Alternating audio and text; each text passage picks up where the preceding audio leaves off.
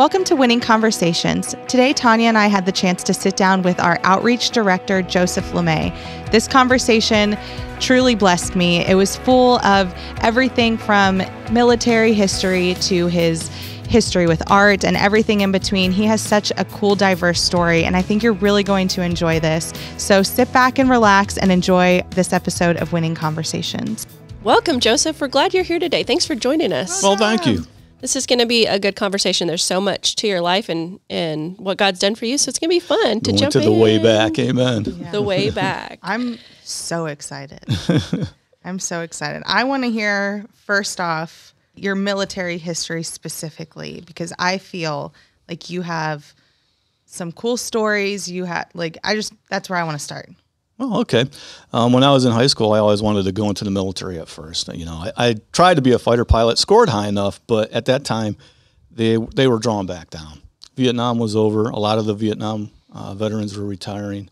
So I just went ahead and went in. So I joined the Army in 1985. I joined the late entry, went to uh, the 2nd Infantry Division, and I was in the 2nd of the 61st Air Defense Artillery, which I, I was a Stinger operator, which is a handheld missile that the uh, infantry uses. So I went over to Korea. I did uh, a year and a half over there, and then I just spent the rest of my two years over there. I, I went ahead and extended. So while I was over there, I got school money, got out, came home, went back to school, and then about halfway through school, I decided, you know what, I want to go back in the Air Force. So I could have uh, tried a couple of things, but I went into uh, missile combat crew member, which is basically ICBMs. So I went into that. And so I, after I got What out of school, ICBMs? What's it's an that? intercontinental ballistic missile. It's a nuke missile.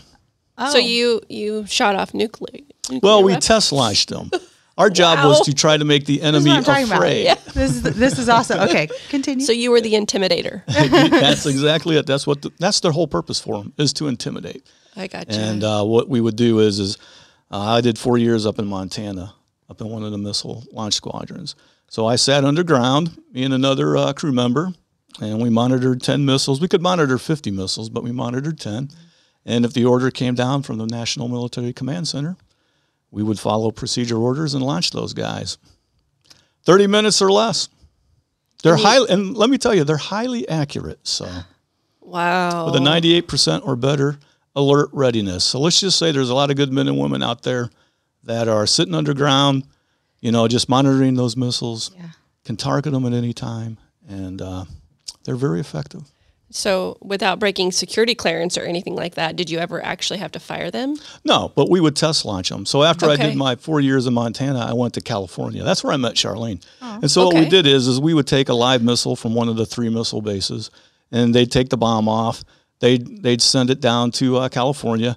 We'd have guys that would put it back together, and then they put all kinds of instrument packages on it and a fake bomb on it, and we'd shoot it off toward the South Pacific, which is down in the Kwajalein Islands. We got targets down there, which is about the equivalent from about here to uh, places over in Europe. I'll just say that. and over in insane. Russia. Yeah. It just And so- it's really insane. yeah. Yeah, and so the warheads, they're suborbital. So it's almost like throwing a rock into the air. Okay. You aim for a window in the sky, and it just shoots. And once it goes, it goes through that little window that you make that you aim for, and it goes suborbital, and then it just comes down at about Mach 27, and it's pretty accurate. It's uh, gets very close to its target. I mean, that's just a whole nother world. Like I have no Yeah. frame of reference for besides the movies, which I know aren't accurate, but So after California, then what? Well, after California, then I got into the space side of uh, the Air Force, which is now He a new casually. space side. He's like, oh, it's just Yeah, they made a new branch uh, under President Trump. It's now called the Space Force. There was a lot of talk of it going on when I was in the military, but I never thought I'd see the day that it would happen. And so the jobs that I did, I worked at radars where we would monitor satellites. I worked at Cape Cod in Massachusetts.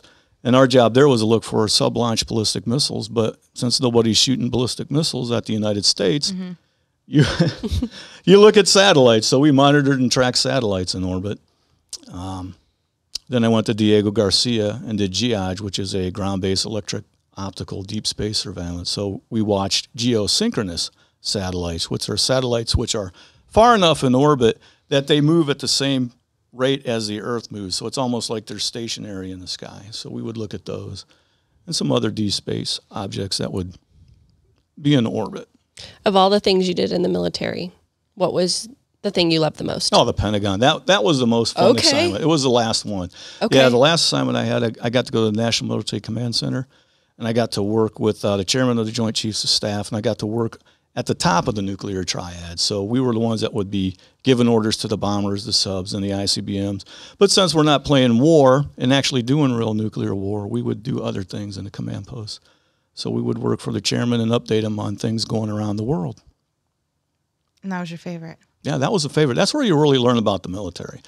When you get to a squadron, you're so focused on your job, you just see your job and that's it. But when you get to the Pentagon, you get to see the whole picture. You get to see how all the forces work together and uh, how it comes down from the top from the National Military uh, Command System. How long were you there? I was at the Pentagon for three years. It was a fun assignment. Got to go overseas also. Uh, got to do an exchange with uh, the United Kingdom. So I got to go work for their headquarters and do space stuff over there with them. And they sent someone over to Peterson Air Force Base from the Royal Air Force, and they got to work with us. So I actually got to work with the Royal Air Like Force. Like a like an exchange Yeah. student situation. You know how they Yeah. yeah, pretty much. Yeah, but it was fun. exchange at the highest At levels the of our highest level. Yeah. That was fun. I got to see a lot of neat things.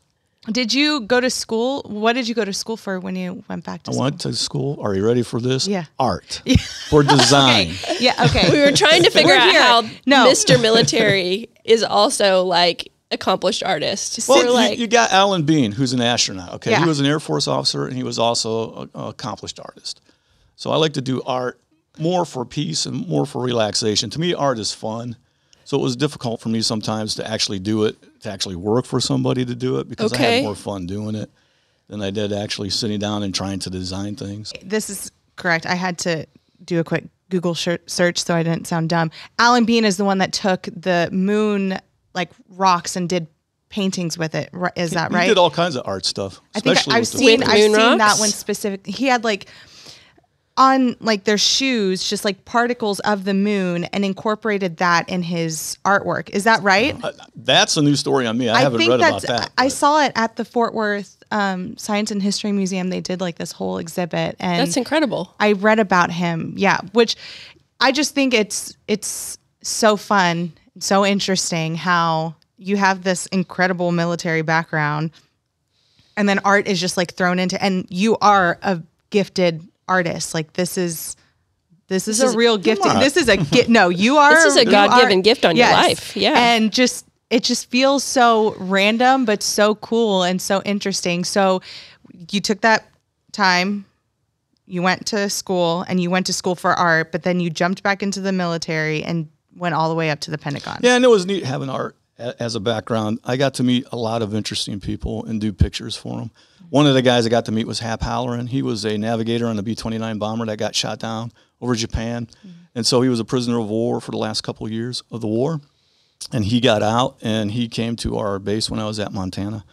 And we got to talking. And so I did a picture for him and his family. So he sent me pictures and autographs and things like that. It was, it was a really interesting story.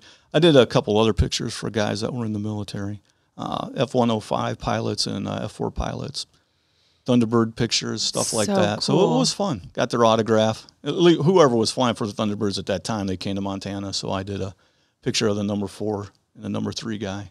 Did you have a passion for art when you were a kid? Yeah, I used to draw all the time when I was little. I'd go out and draw birds and, of course, airplanes, Yeah. Yeah. military things. So you took two your two passions and you like meshed them together pretty much. in that time. Yeah. It was then when I was at Diego Garcia when all of a sudden I started feeling the pull to go into the ministry. And Okay. so that's where the ministry came in. So I was about the 15 year mark in the Air Force. So I was a major at the time. And I was over there, you know, John was on the Isle of Patmos. while I was over at Diego Garcia, which is a little island in the Indian Ocean. It's owned by the British, it's run by the U.S. Navy. The American uh, Air Force has the mission there, and it's populated by Filipinos. Interesting. That's diverse. Yeah. For Oh, sure. very diverse. So tell us tell us how these two worlds meet Jesus. You know, it's funny. Um, when you get born again, you have a sphere of influence. Uh, and you have something to say, you have a testimony to say. So when I was in the Air Force, I just sat down with the Lord and I realized that I have a story that I can give. So I would share my testimony and I would talk about Jesus. Uh, for instance, when we were on Diego Garcia, even though I was commanding that small detachment there, uh, I got to know the Filipinos that were there and they had a little church. And so there was a lady named Mother Merlita, is what we called her. And everybody adored this lady. So we just got together one day and just decided, why don't we just go out and start evangelizing? So we evangelized on that entire island. Now, my wife and I, when we were in Cape Cod, we got married uh, just as I went over to Cape Cod in Massachusetts. And there was a guy named Tommy Zito who came there who was a affiliate with Rodney Howard Browne. He's got his own evangelistic ministry there. And so he came there at this little storefront church that we were at. And as they began to talk to us about the Lord, that's when I got the idea with the Holy Spirit, me and Charlene, to just start going out and evangelizing. Mm-hmm. So, I mean, to tell you, we went out and evangelized. I mean, every weekend we were out on the streets, at the shopping malls, at the movie theaters. Uh, same thing, we went to England. We hooked up with Elam Christian Center, uh, Pastor Regender, uh, Buxton, the Buxtons, Pastors Buxtons was their name. And so we went out and we evangelized when we were in England, when I was doing that exchange program with uh, the United Kingdom, with the Royal Air Force. And so we would go to all the different little uh, cities, the little suburbs that were around in London, and we would just evangelize to everyone. You know, America used to be the melting pot, but England is now is the, the, melting yeah. pot. Yeah. Because there were just so many people from so many different nations there. Saw a lot of salvations, saw a lot of healing, saw a lot of things that the Lord did. So it was exciting. So when I went to Diego Garcia, which was the assignment after the United Kingdom, I sat there and I, I had a lot of encounters with the Lord. That was my Isle of mm-hmm. Patmos. So I spent a lot of time with the Lord there. Awesome. They say three things when you go there. People either get drunks or they turn into hunks or they or they become a monk when they go there. that was the three things they said when they told me when I got to Wait, Diego Garcia. Say that drunks. Yeah, you can either be a drunk because guys will just go to the bar and drink a lot, or you become a hunk where guys just went to the Work gym out. and they exercised all the time. Or you could become a monk. That's where everyone just decided to get close to the Lord. Those were the three things everyone observed that's about people when they got there. So I went to the to the monk side, and so that that's where so I started funny. spending time with the Lord. Oh, well, thank God. thank God. no, that is so funny. So you were doing all that evangelizing while you were on assignment. Yes and it was fun. It was rewarding, and that's when I learned that there's two reasons why people don't evangelize. Either one, they don't know how, or two, they're afraid. Yeah, but once you right. step past that barrier and you just let the Holy Spirit lead you and guide you, he'll he'll show you your sphere of influence, and he'll open up doors and opportunities for you to minister if you're willing. If you're willing, yeah. yeah. And if you'll just listen to the Holy Spirit, people will start talking to you, and at some point, they'll be your entrance. The Holy Spirit will mm-hmm. say, "There, there's the entrance," and the door will open and you'll get the opportunity to talk. But here's the exciting thing about evangelism, because I heard this from a man named Hutch Strom, who came to a church when we were in Cape Cod. And he said this he said, Think of evangelism as people as fruit. And he said, Sometimes you introduce the Word of God to somebody, they're not ripe yet. So it's going to be rough, you're going to get rejected, but you've planted the Word of God. And so the ripening process starts. The Word gets in there, and then you go home and you pray for them. Yeah. You just believe the Lord will send another laborer. And Paul said that. He said, you know, this person waters, another person does right. this, but the Lord gets the increase, right? And so it depends where you meet that person. Sometimes you'll meet the person when they're ripe, when they're ripe, they're ready. Mm-hmm. And so you introduce the Lord to them and like, man, they're ready for it, you know. But sometimes you get rejected. And I had a problem with that at first because I didn't like to be rejected. Mm-hmm. But then when that uh, evangelist told me that, it just changed my whole outlook. So I just want to encourage everybody that the Lord will open up opportunities for you. And just because they don't accept the Lord right away doesn't mean it wasn't effective or the seed didn't work. It'll yeah. actually get in there and start to go to work. And then the Holy Spirit comes in. And when the Holy Spirit starts working on somebody, that seed just grows. It's like an ember. It just starts to begin to flow and grow inside the person. And eventually another laborer will come by and uh, they'll open up and receive the Lord. Right, right. It's just our job to plant. Now, we've gotten 15 minutes into this podcast. We haven't even mentioned that you're the evangelism director and outreach director at Heritage. By the way. Yeah. Uh, but that's okay because uh, outreach and evangelism really is where you're at, your sphere of influence. You said that really well. It's where God puts you in your world is yeah. where you get to touch people's lives. Um, one statement that I've heard you say lots of times, and it's really part of the fabric of our outreach teams, is each one reach one. Yes. Tell us where that comes from. Well, I was with the Filipino people, and we decided to go out when we were at the Diego Garcia just to go out and evangelize. And as we went out there, I began to notice each one reach one. It was just something that we began to say. So um, it just stuck. So I've just kept it ever since I've been there. If you can reach one individual and the Lord changes their lives, then they'll tell somebody else. Mm-hmm. And the mm-hmm. next thing you know, it's just, just a domino effect. Mm-hmm. That's why I like that. Right. How does it align with Heritage? Because everyone at Heritage of Faith has a mission.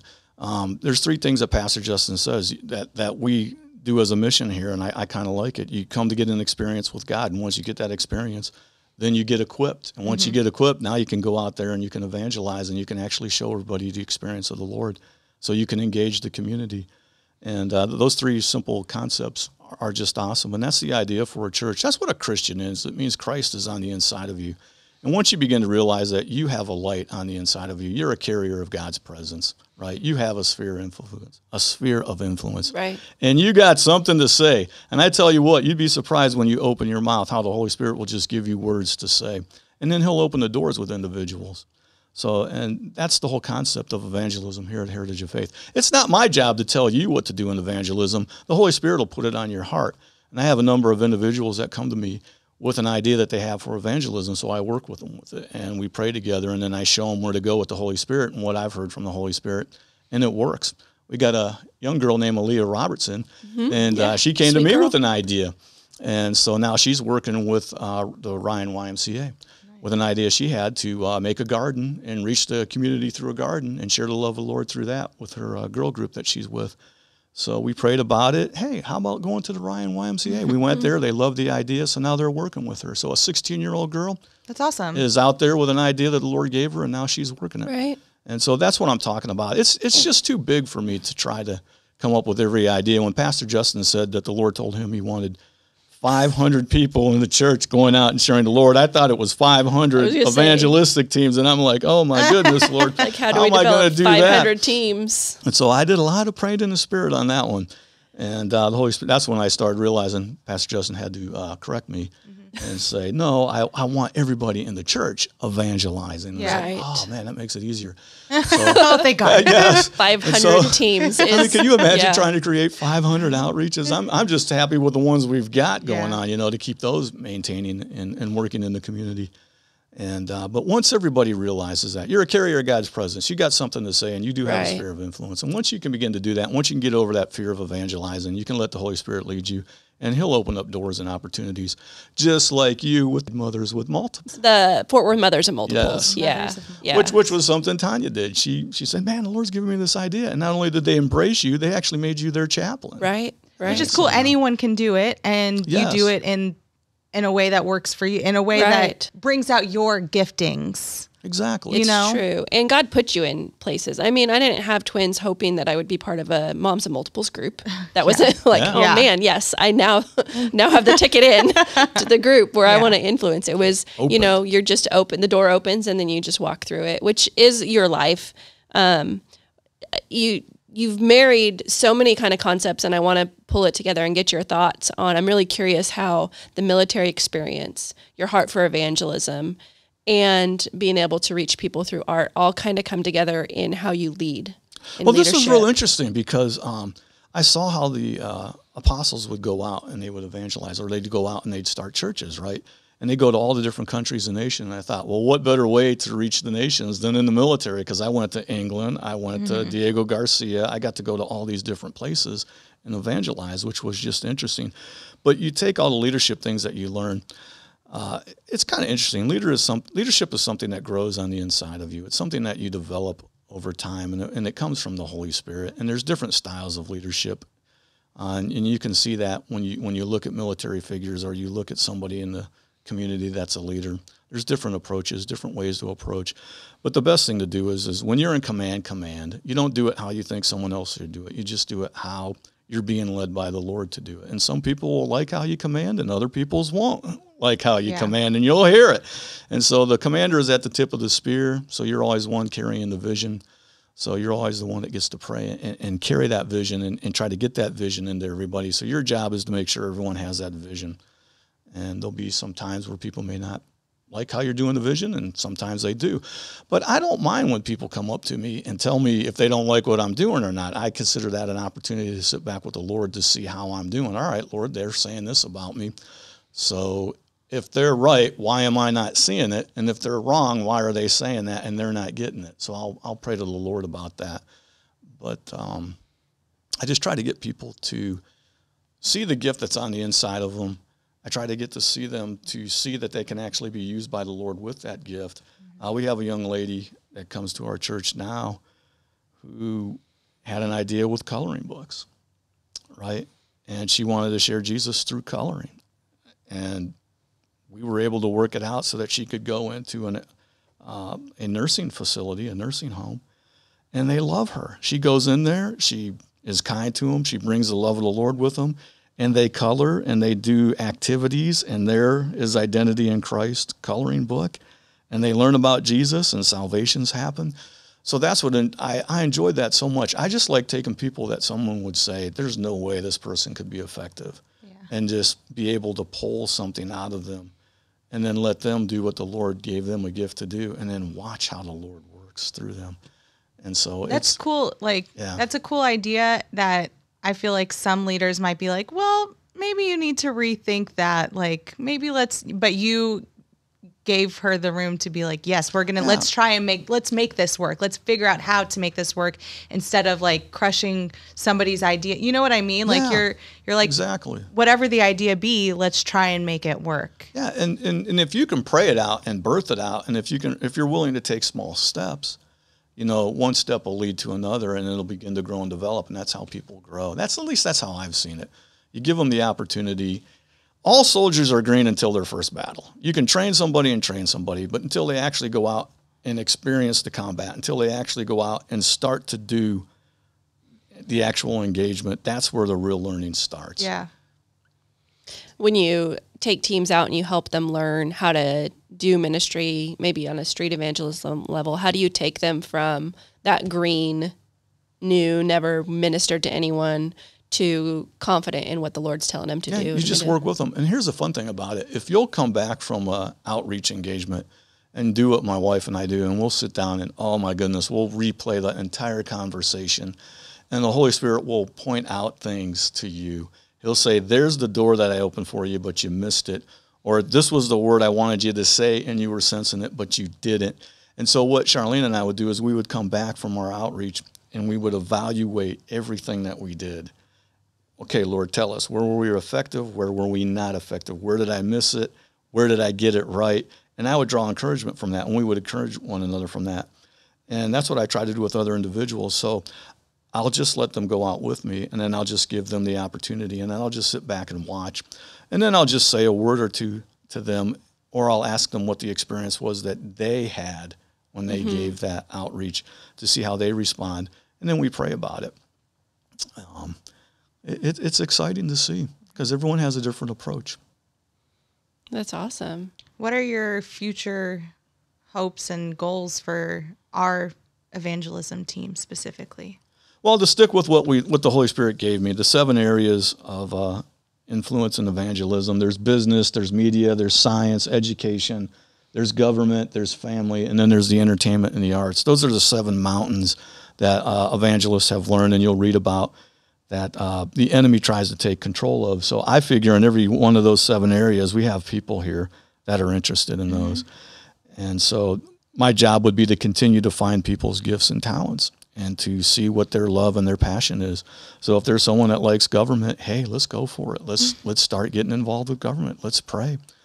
Um, we have individuals that sit on the chief advisory board for the city for the Fort Worth Police Department. There's other things that have opened up, and it, it was just fun to get to work with the chief and to get to work with the uh, other assistant chiefs in the police department, like in government areas, to find a couple other people to go with me and what we found was is we were able to sit down and effectively work with other leaders in the community and we were able to actually help institute new training programs where police officers can learn how to de-escalate conflicts you know oh, wow. how to de-escalate a situation you know use of force how to sit back and to uh, evaluate a situation and instead of relying all the time on, on their on their gun all the time mm-hmm. well why don't we rely on you know what's going on in the situation around us and, and try to focus on situational awareness and so, working with the police officers and working with uh, the citizens, you know, in that area of government and in that area of the community, we were able to see a big change in Fort Worth, and we were able to see uh, a big success happen in the police force.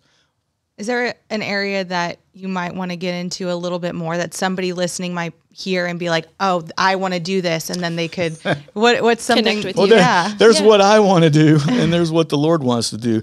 Uh, I'm finding that my goals and visions, um, some of them are strategic, some of them are long term, and some of them are short term, and I just like trying to take it a step at a time. But I do enjoy uh, missions. I've always enjoyed going overseas. Right. That's why I joined the military. To me, missions is just the opportunity. I love travel. I've been to, to Poland. I've got to minister in Poland.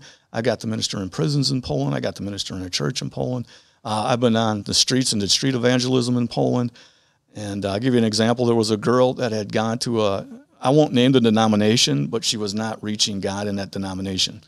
And she was at the point to where she was going to commit suicide. So she had bought all these drugs, mm-hmm. right? And she and she was on her way home. That's her testimony that she shared with Charlene and I. She was on her way home, and she was going to kill herself. And as she was walking by, I just happened to be evangelizing on the street over there in Poland, in Poznan. And she heard me talking about Jesus, and the love of the Lord just hit her, and the Holy Spirit began to work with her. And she came walking up to the front, and she accepted Jesus. And so these are the things that excite me: is to go to other communities, go to other nations, and uh, to see the Lord work in other nations. This, to me, it's just exciting. That's what they used to do in the old days. Yeah. Right. Um, they not only would they go, but they'd learn the society. They they would they would draw pictures. There's where my art comes in. They would draw pictures of all the wildlife, and they would study all the different things of the country, and then uh, help them grow, help them make cities, help them learn how to develop in the Lord. It, that's what I want to do. I like missions. That's where my heart is. But That's awesome. you mentioned your wife a couple times, Charlene, and we didn't really get a tap into that story. So you said you met her in California. Yep, in California when I was at, at. Vandenberg Air Force Base, and she was working with a contractor there, and the Lord set us up. Um, I had just gone through a divorce and um, got born again, and uh, met Charlene, and the Lord led one thing to another, and we got married in 2003. And so the Lord has just been with us, and we've done so many things together, and it's, I- I enjoy so much having her as a helpmate. The Lord has given her gifts and talents that I don't even have, and I draw and I rely on them. Uh, the Lord will tell her things, and I have to trust the Lord when He's telling her things. and uh, we- we've just worked so good together. That's awesome. Does she have the same heart for evangelism? Yeah, she does. Yeah. Yeah, Charlene was on the streets with me everywhere. I'll give you a story about Charlene. There were a, couple bikers in Cape Cod that were actually cycling. And so Charlene likes to run. So she took off and ran beside them. I tried to keep up with her, but she is ministering to them as they're cycling and she's running beside them. And she ran about a good mile, mile and a half. It, it was it was one of the funniest things I've That's seen in hilarious. evangelism. I know. I'm trying to I'm picture pic- that in I'm my fully head. picturing it, and I love it. That's, That's awesome. Incredible. That's neat. That's a, I mean, she's she's kind of a, a quiet person in the in the seats, so it'd be fun to see her in that element. Oh yeah, and, Yeah. until she gets moving in the Holy Ghost, and then she goes. Yeah. I feel like she's one of the one of those people who she's very quiet, but every time she says something, it's something you want to hear. Yeah. yeah, I agree. Amen. That's awesome. It was neat to hear that you, you guys how God brought you guys together. That's sweet. She went with you all over the world. Where would you travel if you had an op- you had a choice to travel anywhere in the world? Where would you go? Man, when I went to Poland, I just I was just so excited when I went there. Uh, just a wonderful community, wonderful people over there, just a wonderful nation. Um, I had met a gentleman who was into Ukraine, but he went on home to be with the Lord. And I thought about Ukraine, but Eastern Europe to me is just a place where the Lord will, just needs to thrive over there. I just think they're ready for it. I think they're ripe for it. And you see what's going on right now with the Soviets and oh, the Russian invasion. Yeah. I call them the Soviets because that's who's running the country right now is that old form of government. But um, I, I really see Eastern Europe as a place that is just wanting to hear from the Lord. That's awesome. Yeah. Yeah. I've never been over there. It'd be super cool to go. Um, one question we ask every guest who comes on the podcast is their thoughts and what they hear, what they think about when they hear the term making winners in life. It's Oh, kind yeah. of it's kind of our heart of our church. Like what we do and everything we do is make winners. So tell Yeah. us tell us where you where This you is my that. idea for everyone to learn how to yield to the Holy Spirit in every situation. That allows them to grow. And if they're willing to take each step to do that, the Holy Spirit will take them from from place to place. He'll grow them. I want them to, to be completely immersed in the Word of God. To me, that is the, the stepping stone to learn how to walk in the authority of the name of Jesus, how to move in the gifts of the Holy Spirit, for them to learn how to receive all the promises of God by faith, to remain rooted and grounded in God's love so that they can, by faith and by His grace, successfully fulfill the call that God's given them in their life. And for them to embrace the community, uh, embrace what the Lord has given them. And I think that's how people grow and develop. That I mean, that's what making winners in life to me mean. is for them to get into the Word, uh, yield to the Holy Spirit, learn how to recognize His voice, and learn how to yield to Him. Well, That's we- how we grow. That's right. We are so honored to have you as part of our heritage family, really leading from from where your position as outreach director and helping our church become winners in life in those areas, especially as it relates to influencing the world around us as individuals. So thank you for pouring into our church body in that way. Well, thanks for asking. It's, and it's always fun to talk about what I did in the military too, because a lot of times I'll, I'll give you a cute little story. Uh, we would go out there and we'd work on Christmas Day, and we'd be underground, and so the families were able to allow to go actually out to the missile field, and so they could actually come down into our launch center. You know. Oh, wow. And so we'd let them come down. And this this gentleman brought his two children out there, right? And so we're telling them all the things, all the different comm equipment we have, and all the different things that were down there. And the guy was just impressed. And he looks at his little five year old son and he says, This is pretty cool. How'd you like to do this one day? And the little kid looked at him and he said, No. He- He got, that dad got so embarrassed.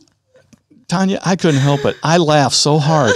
I mean, I just started laughing and laughing and laughing. I thought that was great. It's like, well, that kid doesn't want to do No, this. thank but, you. but but some people will listen to you, some won't. So that, thanks for letting me talk about the military a little bit. I think bit. it's it's so interesting. It is it's so interesting. I was telling Tonya how you went from like these super high ranks to what you're doing now, but you took that all of that and use it in this area of ministry. You know what I mean? Like it's it's just so impressive It to is me. impressive. I think it's awesome. One of the things that is impressive to me is that not only did you go from like a Pentagon general, I don't know what was your title, oh, Lieutenant Colonel. Lieutenant, lieutenant, Assistant Deputy colonel- Director uh, lieutenant for operations. And then when you came here, you didn't step directly into the role of outreach director. You were a facilities manager. Yes. He cleaned the toilets. Yeah. He made sure the, the grounds were taken care of. That takes humility in Yeah. a way that most people are like, yeah, I'm called to minister and I'm called to outreach.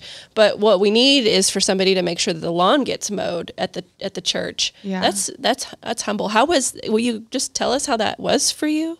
Yeah, it took a it took a little bit of adjustment. I'll be honest. Yeah. Um, I've been stung, shocked, um, electrocuted. Yeah, um, doing all these things around the church. You know, learning how to uh, to be a facilities manager when all that happened. Uh, poison ivy, just all those other things. It was fun. I thought I killed the trees. I didn't realize crepe myrtles do that in the wintertime. I thought I killed them when I cut them down and all that. But um, yeah, if, if you if you're willing to, uh, I think the word you said earlier was willing. Uh, Andi, and, and that's true. If you're just willing to let the Lord take you and, and lead you and guide you, He'll open things up. So humility is a big part of uh, development. That's awesome. Well, you have really helped us understand one some things about the military. I didn't even know. Yeah. I mean, you were the intimidators in the Yeah. military, and now you're yielding to God in a in a position of uh, influence in our community. So, thank you again for joining us. We're really glad. Is there before we close? Is there any other stories that you have that we could hear? How many hours do you got? well, tell us maybe one of your favorites. there was uh, an outreach that Charlene and I did when we were in Cape Cod, and Charlene had there was a lot of uh, people that came from uh, Jamaica and Haiti that were in Cape Cod at that time we were over there. And so Charlene was out there evangelizing, and she led this one young lady to the Lord. She was pregnant, and she was wanting to have her child in America. He'd be an American citizen, and so she was getting ready to have that baby. And so she was staying at these little cottages, and during the wintertime, nobody stays there because it's not summer in, in cold Cape Cod. It's, it's but but anyways, long story short, I had I took her over there to pick this young girl up. We were going to take her to church. Okay, I want you to picture this. I'm in a vehicle and I let Charlene off, and the vehicle comes up behind me. And so I think I'm blocking their way into their parking place. So I pull forward, and then the vehicle comes in behind me. And so I pull forward again, and the, the vehicle comes in behind me again. Finally, I come around and just swing around out of the parking area, and the vehicle comes in behind me and stops. And there's this lady in there, and I am trying to figure this out. What is the matter? So I roll the window down and I kind of look my head out and I just kind of smile and, I, and she rolls her window down and I say, What's going on? Is everything okay? She comes up and she grabs my arm and she starts rubbing it and she starts saying, Hey, baby, how's it going? Oh, no. Now, now, all of Ruh-roh. this is, now you got to hear this. This is so funny. okay. All of a sudden, one of the doors open to one of the cottages that were there. And there was a gentleman that was in there. Now, we had just witnessed to this guy maybe a week prior. Now, he's staying in that cottage there. He had called an evening lady to come, to come, right? She thought I was You the one that called. No. So all of a Oh sudden, the Holy Spirit, the. Holy Spirit light bulb comes on. I see him, I see her, and all of a sudden the light bulb comes on. And so now I'm going to have uh, the Holy Spirit gives you a door of opportunity. I'm going to take advantage of this. I said, Hey, I came here to invite you to the church. Let's go on. We're getting in the car right now. We're taking everybody that we know to church. Hop on in with us. She goes, You're kidding. I said, No, I, I'm an evangelist. I'm a minister of the gospel, and we came here to take you to oh. church all of a sudden the guy that was in the house i mean not the house the other cottage he comes walking out and he starts saying hey i'm you know i'm the one that called well she didn't want anything to do with him. So now this argument starts ensuing. It, it- it is just the most hilarious thing. And then charlene comes out with a young girl that we're taking to church you know. Right. so she gets in the car and she says what was that all about? And so i explained it to her and she started laughing. So yeah when you go out and evangelize you'll be able to plant seeds in the most unique situations. Uh, seriously, You just never know. talk about who's a door Lord- opening. Yeah. Like, Well, our church was right by a bar. What- in Cape Cod. So I was walking in one time with this guy from Russia. His name was Vitali. And uh, these two girls were walking in. And so they start making fun of us because they know we're going into the church. So I was like, oh, this is someone saying, what must I do to be saved? Right. So we walk right over to them. That's what I think. yeah, that's what they said. and so we go right into the, the right there to the bar door and we start talking to these two girls and they're thinking, yeah, you guys just want this and you're coming over to have all this. And all of a sudden the Holy Spirit just had me start ministering to her, to the one girl there. And I got to tell you something, the Holy Spirit just fell down on those two girls. And uh, it, it went from them trying to joke around and make fun of us to it, it turned into a really serious ordeal with the Lord.